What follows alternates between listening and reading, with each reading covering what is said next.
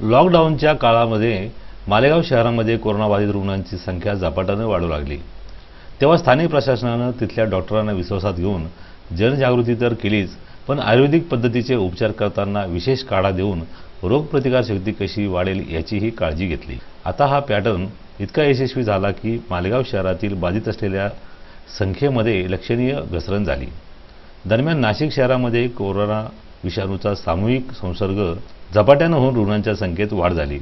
मृत्यू पावणाऱ्यांची संख्या सुद्धा चिंतेची बाब बनून राहिली. या पार्श्वभूमीवर बडी दर्गा ट्रस्टनं मालेगावच्या डॉक्टरांनाच नाशिकमध्ये पाचारण करून विशेष शिबिराच्या माध्यमातून रुग्णांची तपासणी सुरू केली. छोटी हम लोग एक कैंप लगाने वाले दस रोज से हम लोग ने कैंप चालू किया है नासिक में प्राइवेट डॉक्टरों कितनी इतनी लूटमार कर रहे हैं एक स्लाइन के पंद्रह सौ दो हजार तीन हजार रुपये ले रहे तो हम लोगों ने यहाँ पे स्लाइन का सिर्फ पचास रुपया रखा है और बीस रुपये में गोली दवा इंजेक्शन के साथ में रखा है तो माशाल्लाह इतना फ़र्क पड़ रहा है। और मालेगांव के डॉक्टर, लोक सेवा सत्य मलिक, लोक सेवा ग्रुप, इनसे हमारा कांटेक्ट है ये हर रोज छः डॉक्टर हमको भेजते हैं।